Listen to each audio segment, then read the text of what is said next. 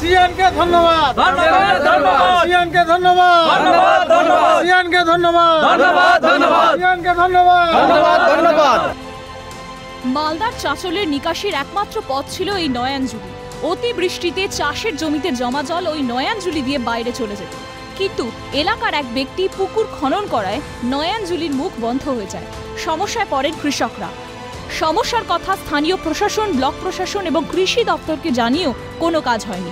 কৃষকদের সেই সমস্যার কথা তুলে ধরে সিএন। সিএনএ খবর সম্প্রচারের পরই নড়ে চড়ে বসে প্রশাসন। কেটে দেওয়া হয় নিকাশি নালার মুখ। ক- আমরা তো বিগত দু মাস ধরে হেনস্থা হচ্ছিলাম প্রশাসনের কাছ থেকে যে আমাদের জলটা খুলে দেওয়া হোক কিন্তু তাতে আমাদের সুরা হচ্ছিল না। তারপরে আমরা সিএন চ্যানেলের মাধ্যমে দ্বারস্থ হয়েছিলাম। খবরটা সম্প্রচার করার পরে তারপরে দেখছি যে প্রশাসন নড়ে চড়ে বসেছে। আমাদের এখানে যে নিকাশি ব্যবস্থা সেটা বন্ধ করে দিয়েছিল কিন্তু সিএন পরপর খবর করার পর সেটা প্রশাসন দেখার পর সেটাকে আমাদের খুলে দিয়েছে। কালকে আমাদের চালু হয়েছে পুলিশ প্রশাসন থেকে আমাদের জলে নিকাশি ব্যবস্থাটা খুলে দিয়েছে। লাগাতার বৃষ্টিতে জলে হাবুডুবু দ্বি ফসলি বাট ডুবেছে কয়েকশো বিঘার ধান গাছ অন্যান্য শীতকালীন ফসলেও ব্যাপক ক্ষয়ক্ষতি। সিএনএ খবর সম্প্রচারের পরই সমস্যার সমাধান।